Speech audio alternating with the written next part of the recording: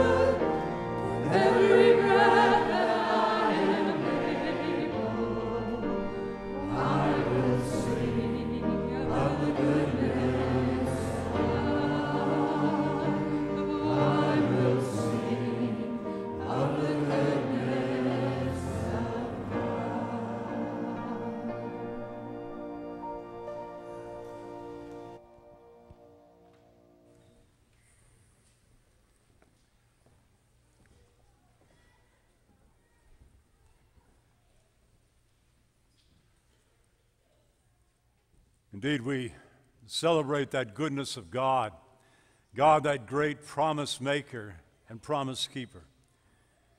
And Today, he makes promise to Jordan Joy, a promise of his love and faithfulness.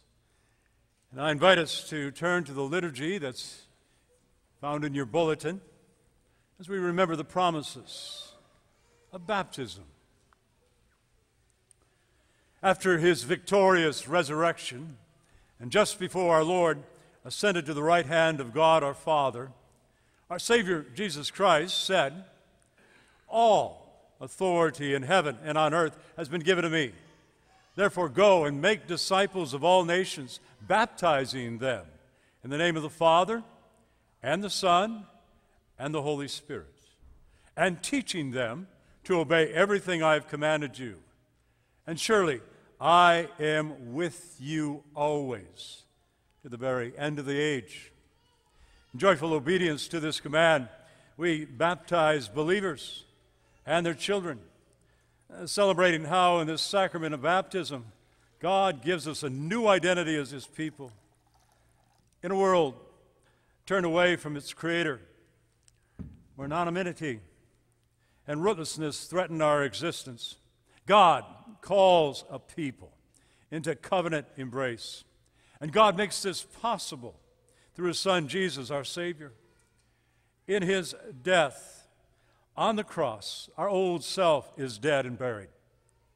The sin that isolates and shames us is washed away like dirt and forgiven. And in Jesus, resurrection, we rise to a new life already today and look forward to a new creation when Jesus returns. When we are baptized in the name of the Father and the Son and the Holy Spirit, the triune God seals our adoption as His children. And He writes His name invisibly on our foreheads. And He affirms that we belong to Him and that He loves us He's given us that new identity. You are a chosen people, a royal priesthood, a holy nation, a people belonging to God. Once you were not a people, but now you are the people of God. By baptism, we have this new identity in Jesus Christ. For that reason, I would like to invite Brandon, Alexa, and uh, Kaylee to come forward with Jordan Joy.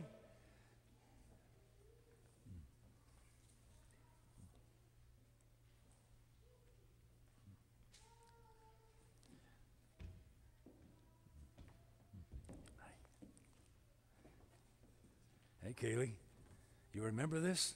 You were baptized too. Yeah. Now we're going to baptize your little sister. Pretty exciting. But I got, I got a couple questions for mom and dad. Uh, Brandon Alexa, I'm going to ask three questions. At the end of it, if you would respond, we do, God helping us. First, do you profess your faith in Jesus Christ as your Lord and Savior and affirm the promises of God made to you and your children in His Word? Do you promise to instruct your child by word and example with the help of the Christian community in the truth of God's Word in the way of salvation through Jesus Christ? Thirdly, do you promise to nurture your child with the body of believers as a citizen of the kingdom of Christ? Brandon, Alexa, what is your answer?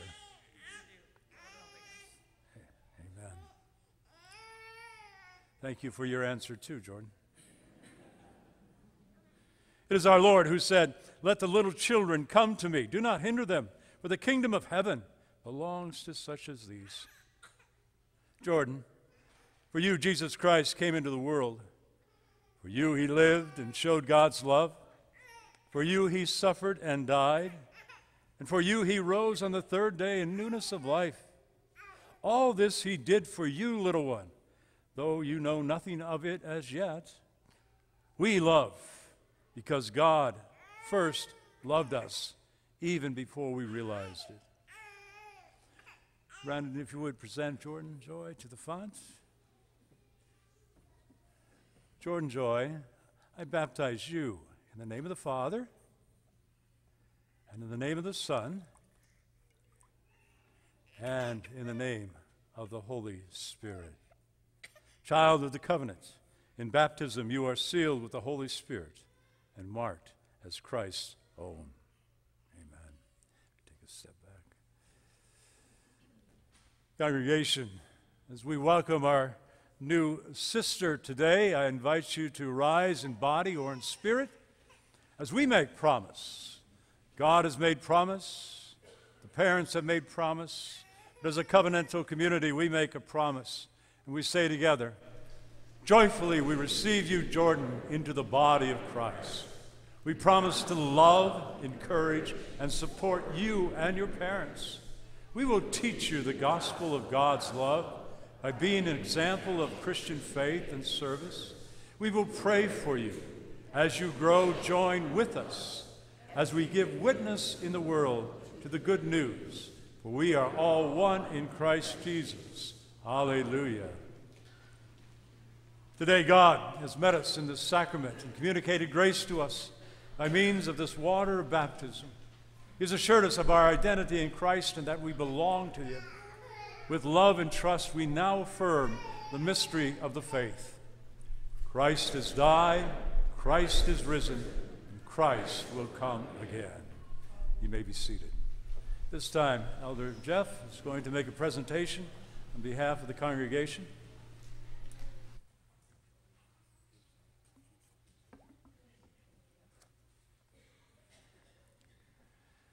I invite us to pray together.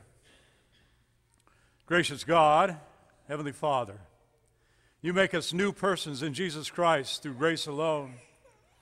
Thank you for our baptism into Christ's death and resurrection. Thank you for telling us that we belong to you and that you love us.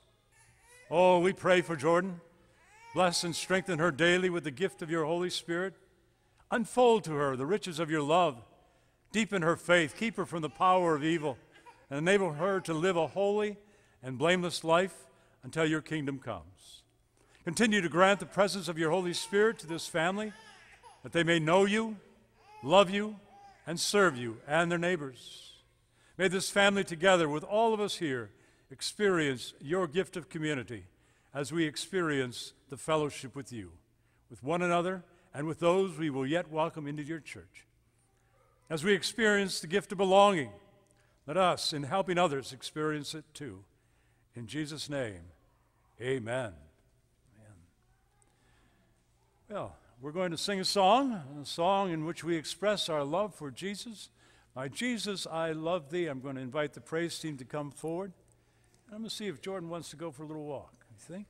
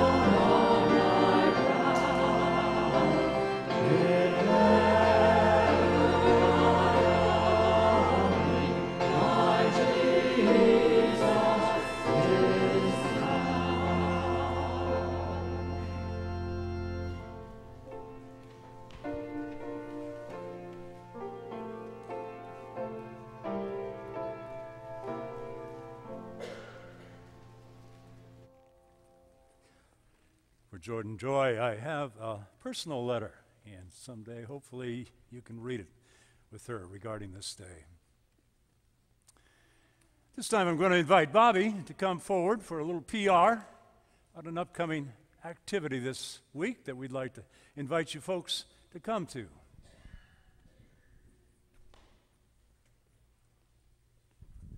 Thank you. Uh, as Pastor Henry will be preaching today, uh, surely goodness and love will follow me all the days of my life. Uh, just like this Wednesday, August 16, Trinity Church is invited to go to Tsunami Water Park.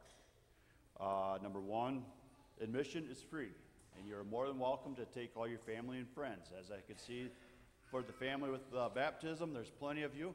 Feel free to come. Uh, if you want to come a little bit earlier, the payment will be coming out of your own pocket. So six to eight free. On top of that, we have the whole water park to ourselves.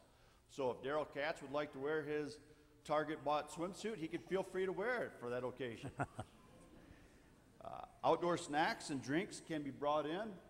The concession stand will be open. However, you cannot take your own cooler. I don't know why. That's just the rule they have. Uh, grandparents, if you want to take uh, your grandkids, even if they do not belong to Trinity, take them. All right, this is an open invitation to any and everybody. If you have a, a neighbor that has not been on vacation yet this year, take them. And if you actually have a, uh, a best friend who has a single mom, take her. Okay, I'll be glad to talk to her for a little while. Nothing, you know, crazy or anything like that. Um, that is about all I have. And like I said, Wednesday, August 16, it's supposed to be 90 degrees. And just like golfers, we will play till it rains. All right. Thanks, Bobby. Appreciate it.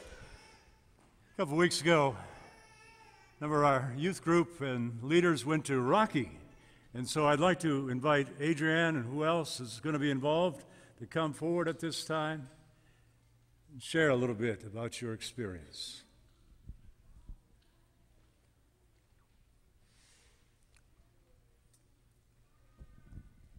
All right, guys, don't be shy. You can come on up.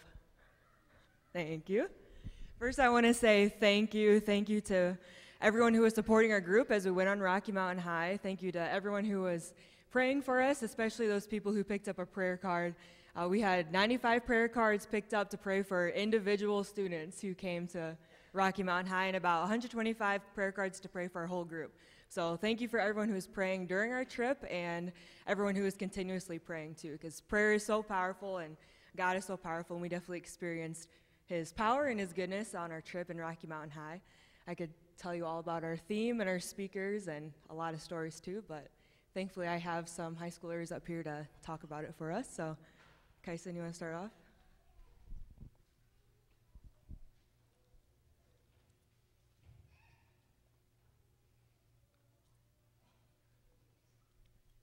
So some of the fun things that we experienced at Rocky Mountain High were the after hours.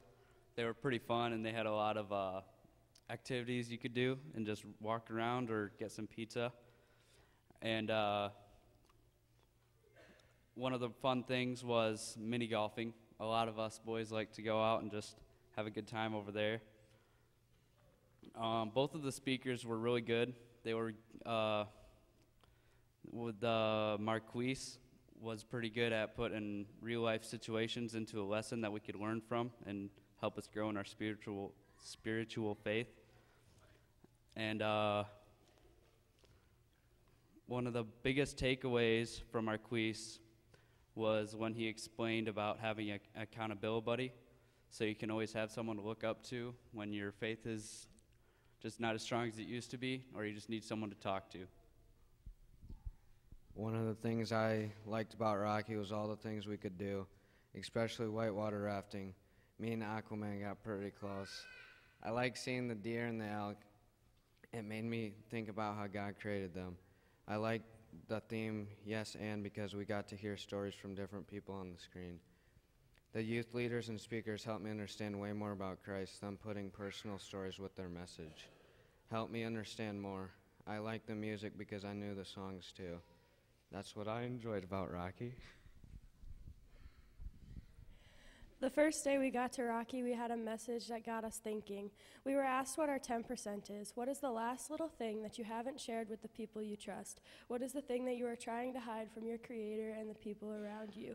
As the week went on, we were encouraged to share our 10%, and I was thankful for the time with my small group to talk. My favorite message of the week was one by Marquise. His message was about toxic thinking, relationships, and behavior. When something is toxic, we need to fully cut it off. Toxic things are not harmless or manageable. This was an honest message that a lot of high schoolers could relate to. Marquise also talked about sharing the gospel and how most people don't share the gospel because of three different things fear, lack of knowledge, and our own mistakes and sins. Even though you might be scared of what others think of you or how much you know about the Bible, that doesn't mean that you can't share. Spiritual maturity is what you do with what you know, not how much you know. I hope we can all be bold enough to share our faith.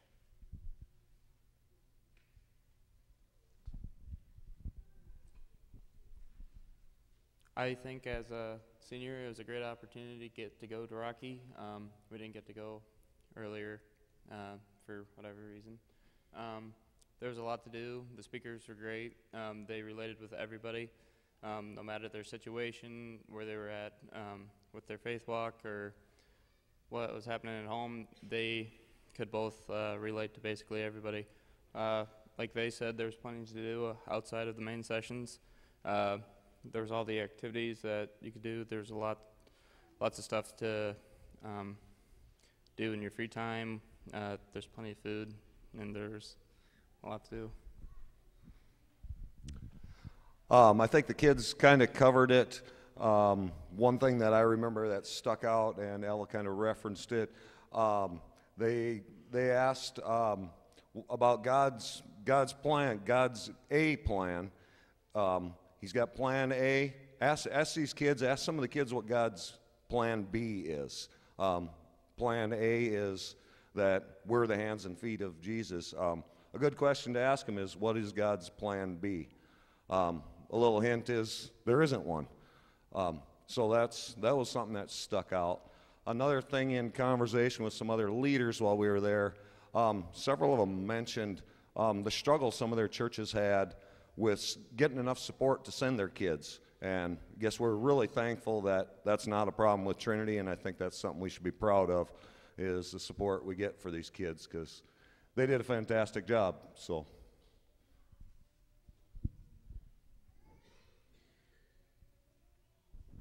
Yeah, thanks, Glenn. And thank you all, too. It was overwhelming, all the support that we got from the whole church, too.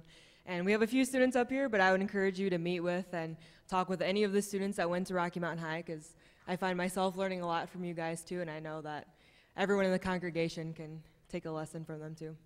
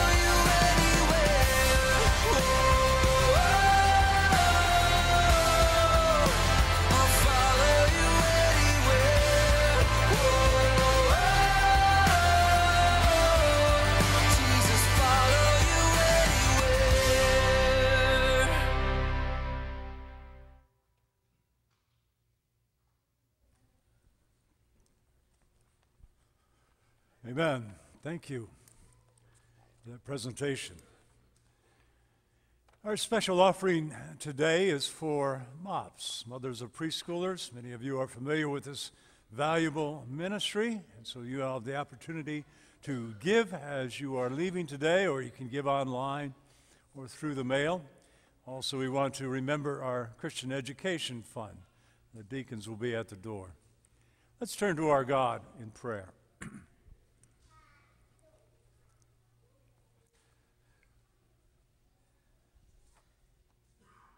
Oh, great, good, and loving God, we thank you for this opportunity to share today the stories that you are writing on our life. I thank you for Rocky and for this experience. And I pray that this will not just be a, a one time thing, but you, O Holy Spirit, will continue to work in the lives of those who are young and those who are even older, that you will continue to remind them of the great calling that you have placed on their life. Lord, as we gather today, we thank you for your leading and guiding us over this past week. We thank you for today. We thank you for Jordan Joy and the promises you make to her and her family. Lord, we thank you for the rain that you sent. You are so good providing for our needs. We certainly need your providential care. We pray for those involved in agriculture with its challenges as well as blessings. May they experience flourishing in their work. For those who work in industry or medicine or education or sales or whatever it might be, help them too to experience your smile as they carry out their calling. Lord, we pray today that you will pour your Holy Spirit upon us to refill us, remind us again of who you are and who we are. We thank you for this open door of prayer. We thank you for Sabbath, the day to, uh, to slow down, to rest in you. Lord, we do pray for one another. We pray for those who are young, and particularly the teens, as they navigate the challenges of home and friends, work, school.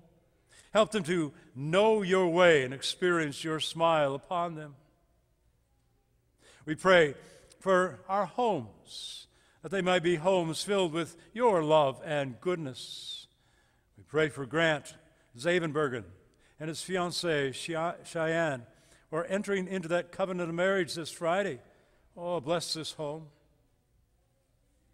We pray, oh God, for those who are pressed down with physical illnesses. We think about Myrna Elbers. We thank you that she was able to make it through the surgery this past week, and now we pray for restoration.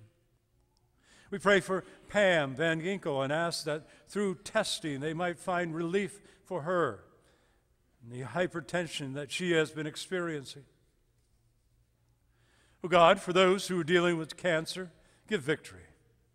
For those who battle diseases like Alzheimer's or Parkinson's, give strength to them and their caregivers. Pray for those who grieve, that you will provide comfort. Think particularly of Noemi and Scott and Isabella and Samuel and, and Xander as they grieve the loss of Noemi's mom. Lord God, we pray for our community.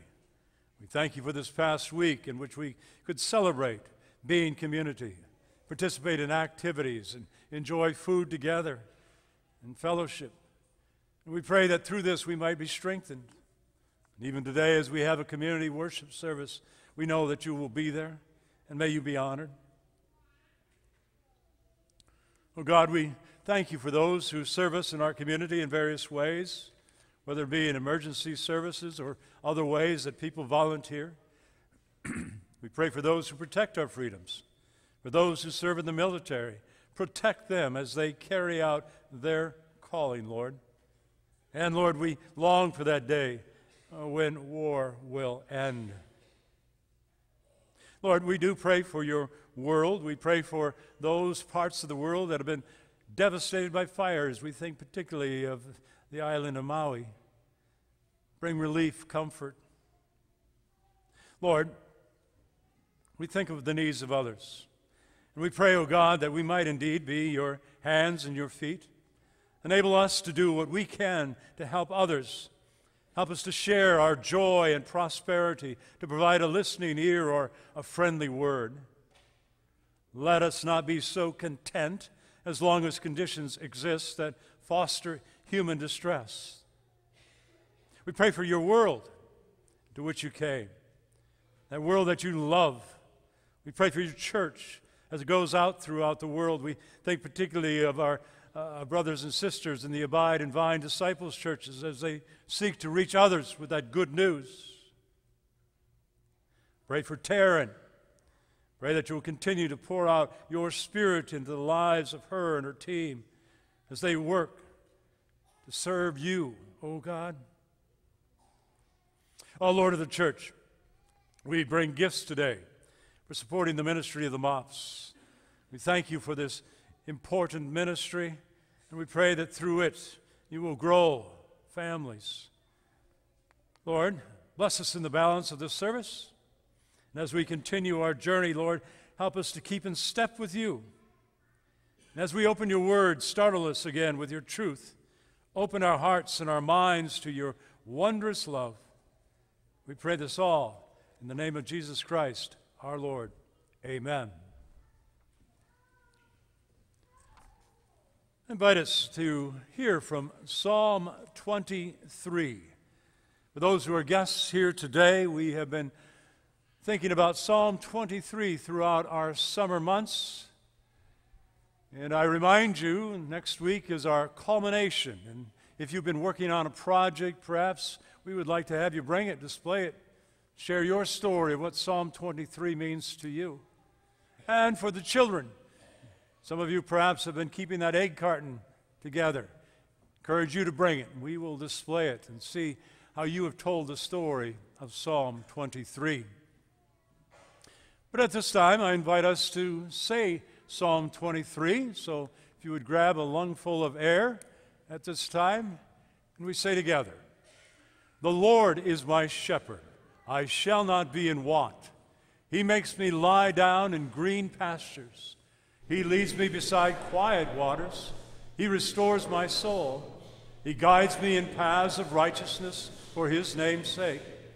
Even though I walk through the valley of the shadow of death, I will fear no evil, for you are with me. Your rod and your staff, they comfort me. You prepare a table before me in the presence of my enemies. You anoint my head with oil. My cup overflows.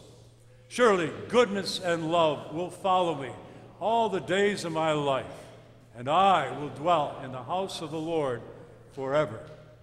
This, my friends, is the word of our Lord.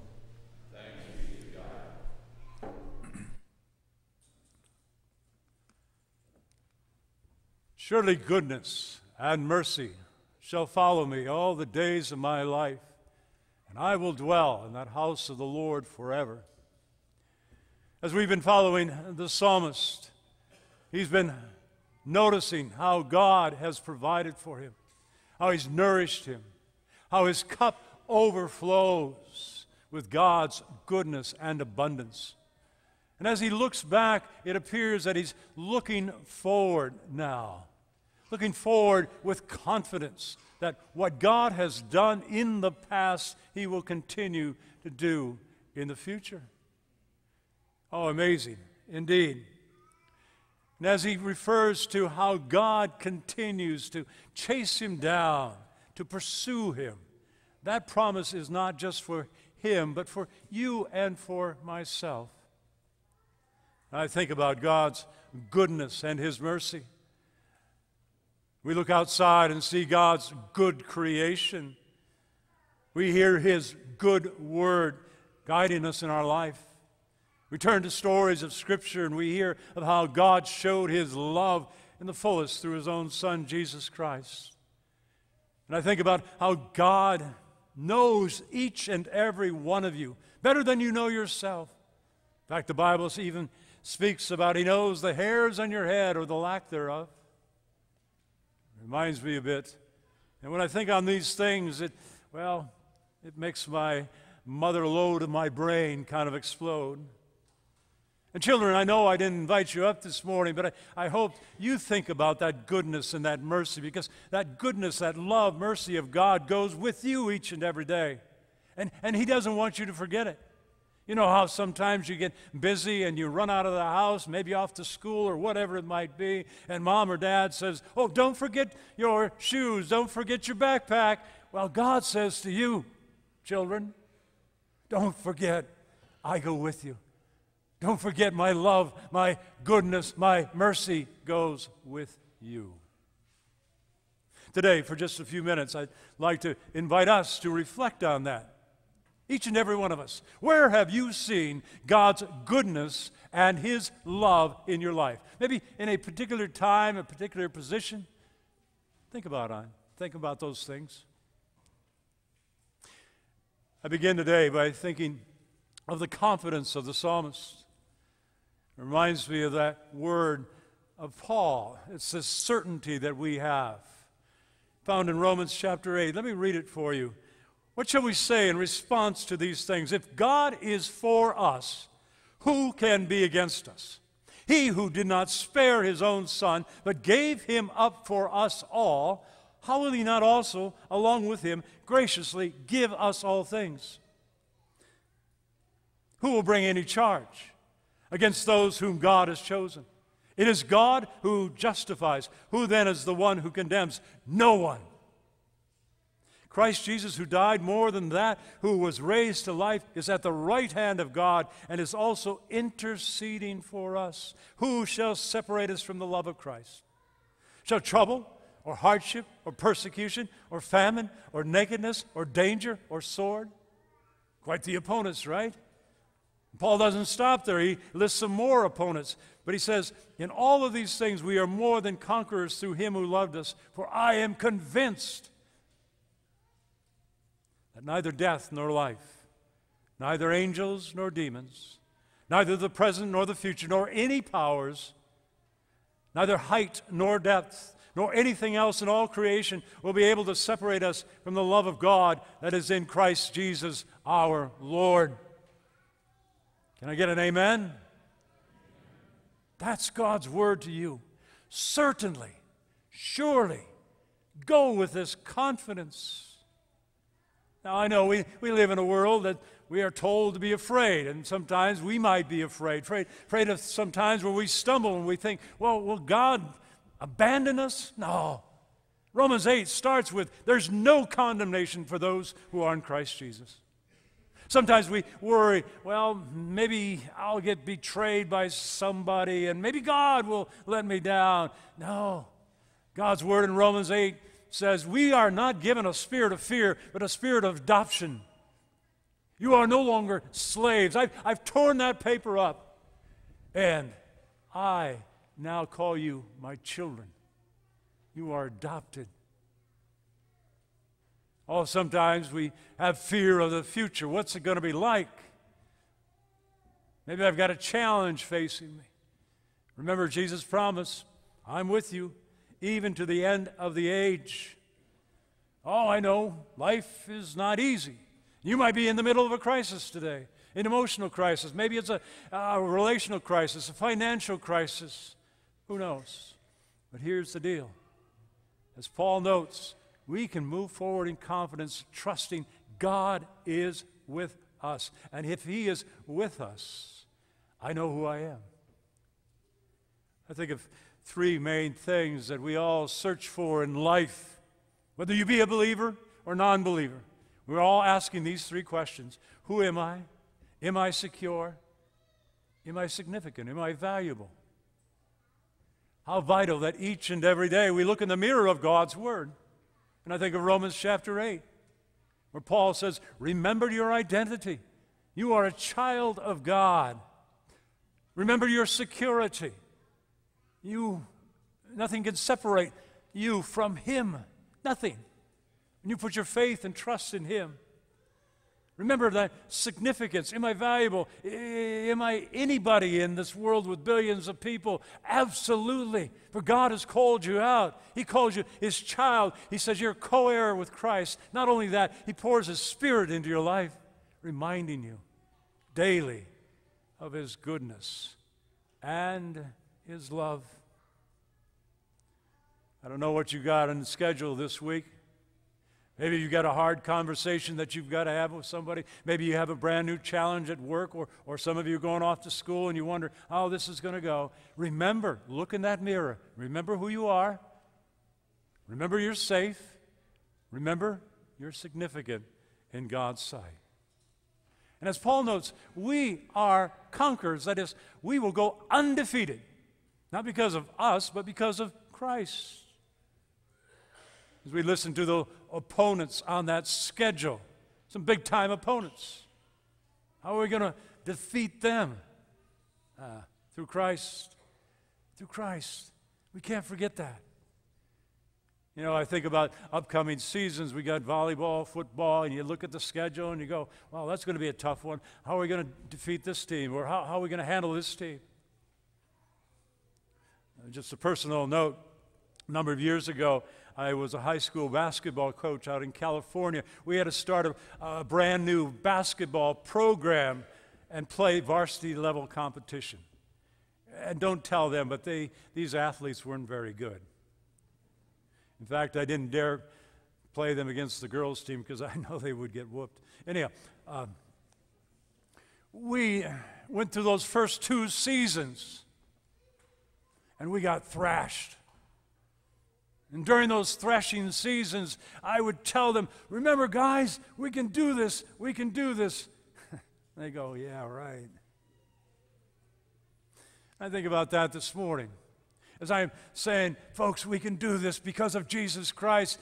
Are these just some heroic noises that we make in this church pep rally? I hope not. I hope that you walk out these doors today knowing that God's goodness and His love, His mercy goes with you, not just today, but tomorrow and the next day. He doesn't quit. He doesn't quit. Think about those attributes for just a moment.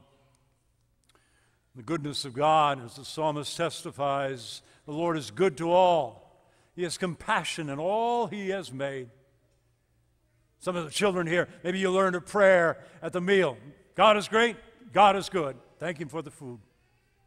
That's not good, that's a good prayer. Because it focuses on that greatness of God and the one God who is good. And by the way, goodness and godliness are interchangeable. In fact, the word good comes from the word God. It's at the heart of who God is. You say, well, what about all the evil in the world? That's not God causing that. That's the problem of sin. And yet, God is so good that even when sin entered this world, He didn't abandon it. No. No, He loves His world, He loves His people. And so He made a plan. He poured out His blessings on Abraham. And we thought about those covenant blessings today. He says, I'm going to carve out a people. They're going to show my goodness to the world. And he raises up a people. to remind them of the importance of justice and mercy. And then, on top of it all, He comes to us in Jesus Christ. Goodness in flesh. And when I think about our Lord Jesus Christ and how He came, He showed us the heart of God, a heart that would embrace lepers, dine with outcasts, who would stoop to the stinking feet of those who would betray Him. What does that tell you about the goodness of God? When Jesus told stories about some ornery sheep sliding off and that shepherd pursues that sheep, what does that tell you about the goodness of God? When you look at Jesus' stories, how he had compassion on little people, the hungry, the cold, the sick, how he goes to a cross and there on the cross he prays for forgiveness for those who lifted him there. He opens the door to paradise for a dying thief. Then he conquers death. What does that tell you about the goodness of God? And then he sends his spirit to us to live within us in order that we might reflect that goodness. Oh, my friends, God's goodness follows us all the days of our life. Think about that love of God. Of course, we turn to John 3:16 where we see that highlight of God's love. He loved this world so much that he gave his only son. That whoever, and I'm a whoever, and so are you, whoever believes in him shall not perish, but have life. Turn back to Psalm 23, where we read about how that love, excuse me, that goodness and love, that word love there could be translated mercy. It's from that rich Hebrew word, chesed.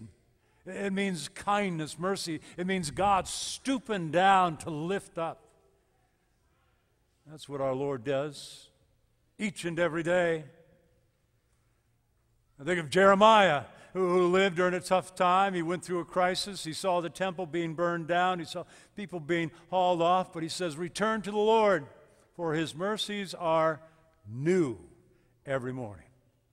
God doesn't quit, he doesn't quit.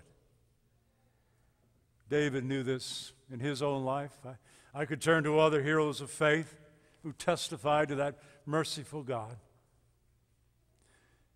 But I also note that word we hear of radaf, the word follow. Goodness and love or mercy will follow all the days of my life. Some have noted that good shepherd mentality and that goodness and love are kind of like sheepdogs. They keep us going. As Christians, we're, we're not meant to just sit. No, God keeps us going. And the fuel of our soul is His goodness and His love. Some of you maybe have stories about sheepdog. I remember when I was a kid, I had a couple dogs, Pudge and Ben. And it was time for milking. And I'd say, Ben, Pudge, cows are out there in the pasture. Go get them. Sure enough, they'd go out there and usher them to the barn. I think about that picture of how God does that in my life. He continues to usher, continues to move me forward. And that same promise is for you. He won't let go. He'll continue to pursue you. To pursue you. He's that hound of heaven who continues today. So, one more thing that I share with you today. If God's goodness and mercy or love follow you all the days of our life, do others see it? I mean, that's why God gives you that goodness and mercy, uh, certainly for your soul, but, but also to show to the world what does it mean to trust God, to trust His goodness and His love. Think about it. We are to leave in our wake some of you are boaters, you know what a wake is. We're leaving a wake. Hey, those folks, they are filled with the goodness and the love of God as they share it with others around them. In our evening services over the summer, we've been looking at the fruit of the Spirit. And by the way, it's one fruit, they're all intermixed together. And we read the words fruit of the Spirit is love, joy, peace, forbearance, or patience, kindness, goodness, faithfulness, gentleness, and self control. That, that's goodness wrapped up. People see that in your life? Those are good people.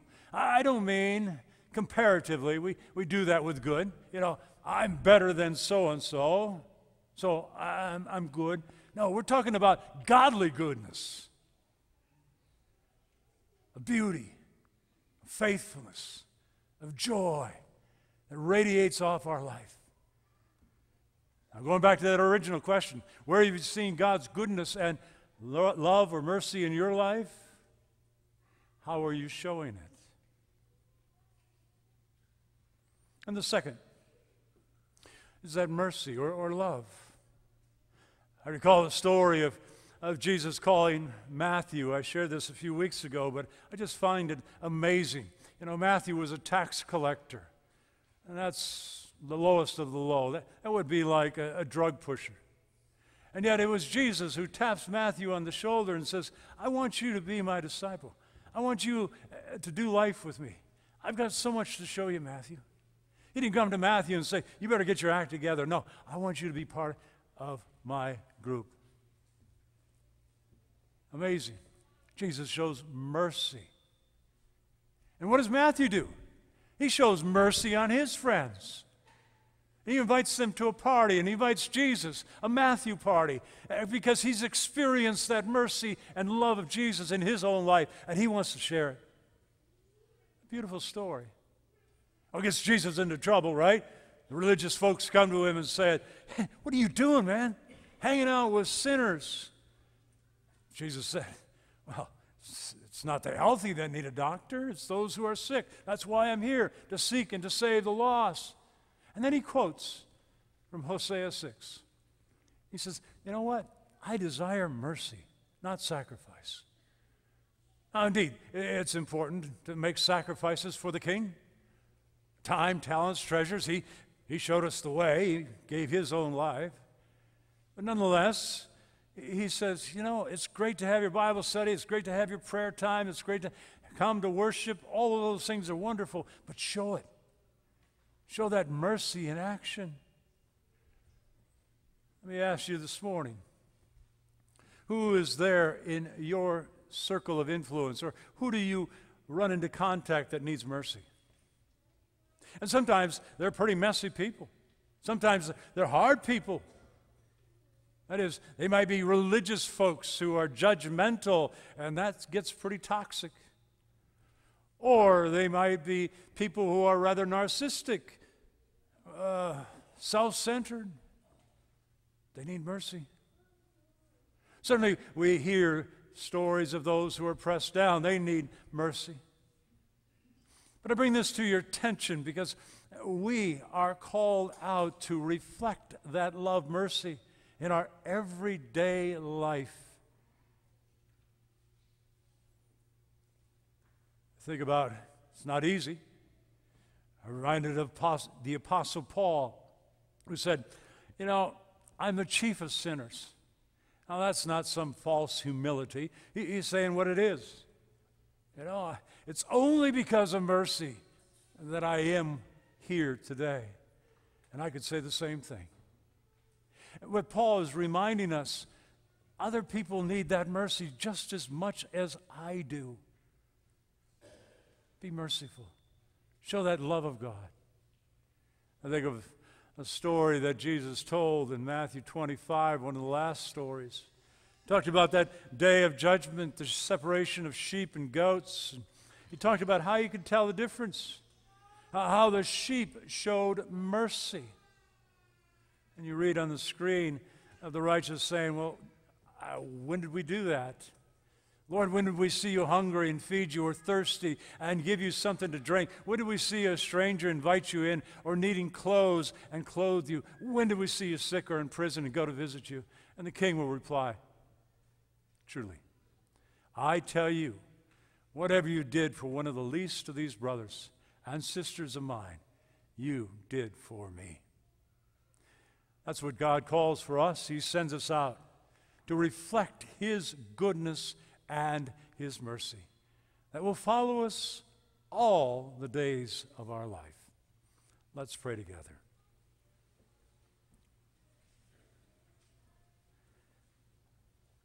Oh, great shepherd, you continue to pursue us, to follow us, to lead us, to guide us with your mercy, your love, your goodness. Praise be to your name. Praise be to your name that you don't give up. Praise be to your name that you have something even better in store. And you send us out this week to represent you. May we reflect that goodness and love in our conversations as we relate to our community. And may they see you through us and be drawn to you. We pray this for your glory. Amen. Well, I invite us to sing that familiar song. Surely goodness and mercy will follow us all the days of our life. Praise team will lead us and invite you, if you are able to rise either in body or in spirit, let's sing to our Lord.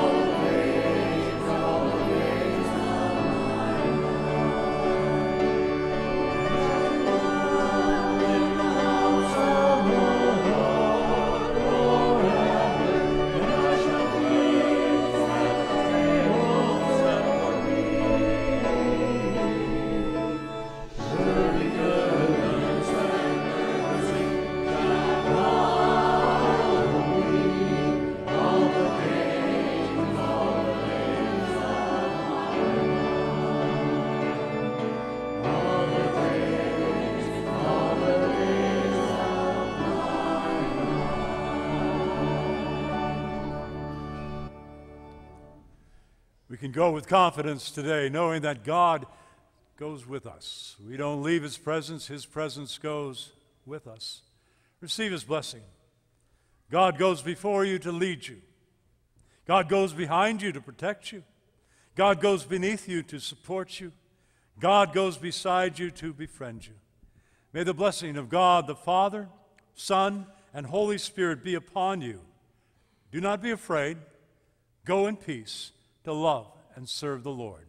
And all God's people say together,